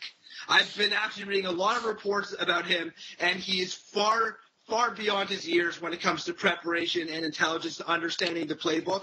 He has been in meetings with all the quarterbacks and is actually making suggestions to them on plays, and they're loving it. They love this guy. He's a perfect fit there. And again, Alabama. That's all I Okay, gotta say. Jeff. You're right. I mean, So that- you- Trent Richardson proves your point. All you have to look. So you're right. Exactly. Alabama. You beat me to the punch, man. That's not fair. You beat me to the punch. Was Trent Richardson pretty good his, his r- rookie year? I thought, W- wasn't he? I'm pretty sure that was one of his better 3.9 years. yards per carry. He wasn't very good. Yeah. All right. So Uh, let's Still, let's the Browns weren't that good. Oh, oh, okay, but Matt, let's give him one thing. He is right because you got you know Mark Ingram who took six years to get it going and be that running back that he is now. You got Eddie Lacy that took three years to get it going and be No, that we didn't great take back. Eddie Lacy no So, three years. I agree with What are you you. talking about? What are you I- talking it about? took three years to get Eddie three Lacy going What are you and fantasy relevant. Let's Three go. months. But let me tell you this, okay? I will give Um, TJ. also, Mark Ingram, years. Mark Ingram had three other running backs there. Yeldon had Okay. nobody. Can I can I Eddie finish? Lacy, Look, No. look. Medical Okay. marijuana is making you a very angry guy. Medical Eddie marijuana is making you a very is angry a person. superstar. Listen, sir. The number one I'm receiver on the Seattle Seahawks is it Kevin Norwood? No. It is. yeah, it's Kevin Norwood. Oh, but he went to Jimmy Graham. Alabama. I know. Jimmy Graham. But he was the number Okay. one re- re- receiver on Alabama a couple of years ago. Kevin Yeah, Norwood is amazing, right? Yeah, and, I, and the whole thing is this: TJ is going to be he, in the situation he is. Jacksonville's getting better. They got a good quarterback. He's growing with them, but he's two to three years away. Alabama running backs and products don't make an immediate impact, except for like guys like Julio Jones. Uh, yeah, he went to Alabama. He was really good, but he was on a different level. I just see TJ. I think their offense is still being put together. I think there's still a few offensive linemen away. There's still a receiver away. I don't. I think the biggest bust is going to be that tight end they went after and paid all that money to. The biggest bust of the year this year. Um, but that quarterback is mature. And the great thing about Brady um, Burrows is he's progressing year after year, game after game. But TJ Yates, I, I think they're too far away with the offensive line that he's going to be irrelevant this year. Solved. Matt, go ahead. TJ Yates will absolutely be irrelevant this year. yeah, I agree. He definitely will be. Irrelevant. Yeah. Oh, I would have I'm to not drafting. TJ Yates, even if he's in the last Neither round of am a I. fantasy draft, based on what Yep. Jeff just said. Thank you. Yeah. That's great Jeff- support. Jeff- Thanks, Jeff, you fellas. must have And realized Jeff has right no now. idea. Hold on, and Jeff on. has no idea that we're making fun of him. No, he has no Yes, I idea. do. Jeff, I do. said, I just realized I about botched the Yeldon. word. I just realized I botched the world. Yeah, you botched the word up, but then you didn't. You didn't. You weren't listening to what they were saying. You just kept like, okay. There's nothing I can do about it because I can't correct it. It's too late. It's on this damn Wait, can you- computer. It's over. Corey, yeah. Corey, can you do your Jeff impression one more time for us? I don't know if I can remember how to do it. It's it's it's. Do, go, go. It was, do, do, it was good. Do it again. Do it again.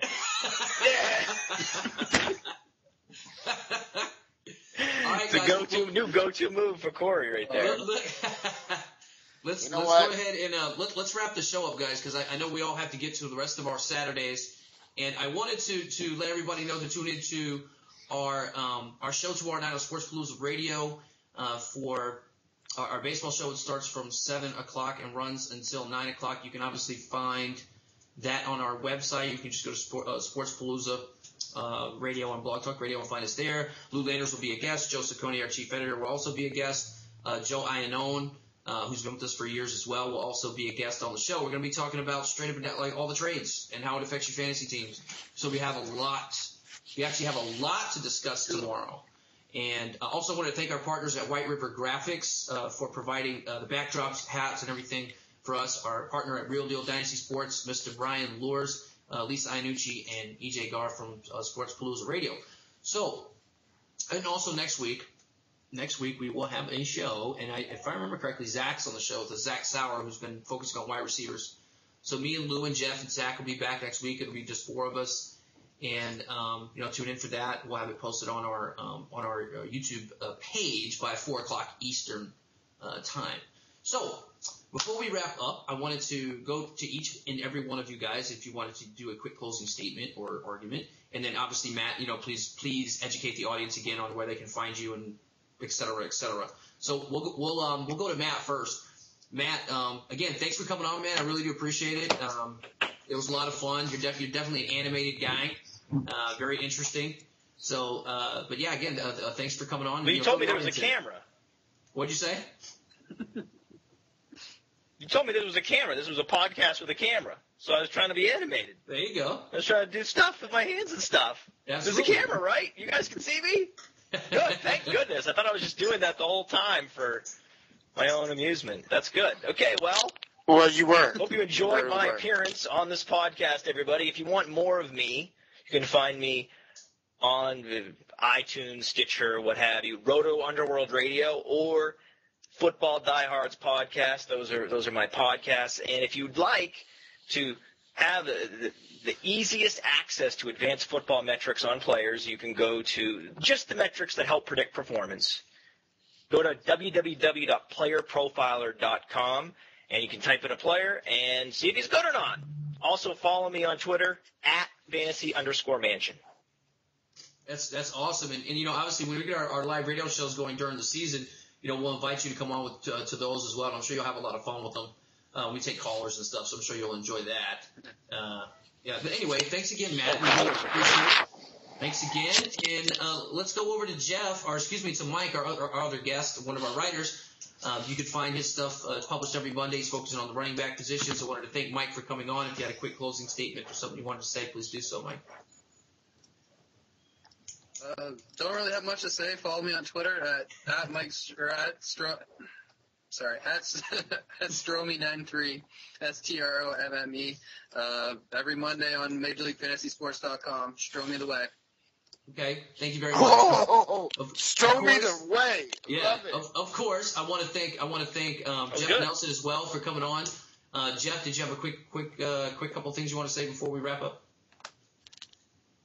I just hope we bring Matt back again and Mike back again because I love the hats and the, the incredible contortions and looks like we might have a seizure type epidemic, something going on over there. I don't know what's going over there with Matt, but you know, it was very good. Were you trying to say epileptic, Jeff? No, I wasn't. I was gonna say seizure, something, but you know, sometimes where it slips my mind sometimes. But I think this was probably one of the funniest shows I've had in a long time. Yeah, oh, I did say TJ Yates too, didn't I? Oh, No, you didn't. but I tell you what, But, this no, was, but you, you you also said Montee Ball on purpose. yes, I did, I did, I did. But the problem is, is that this was probably one of the best shows, fellas, and I enjoy coming on here, and I really hope Corey really gets y'all back, as, even as early as next week, because it was a blast this week. I'm tired of hearing Corey's voice and Lou's voice. only. I like that. Yeah, it was huge. So thank you, Lou, your you, arms stink, dude. Go Thanks. shave your armpits, bro. Thanks, thank you again, Jeff, for coming on the show and all all of your funny little quips and like messing up every word. Appreciate that very much. Lou Lou Landers. Uh, That's what again, Unique thanks character. again. Thanks again for coming on and being a part of the shows and doing what you do. And uh, you know, if you had a couple quick things you want to say real fast, we'll get it out. We'll go ahead and get out of here. Yeah, I was just gonna say, don't draft T.J. Yates. The word, the word, the word is epileptic. And last but not least, I stand by my thoughts on Yeldon, not Yates, Yeldon on Jacksonville, and I think he's going to be great. Uh, Okay, guys. guess well, what? well, Go Mets. Go Mets. You can draft. Thank you, thank you very much for everybody for listening and joining us today. We will be back next week. Thanks again.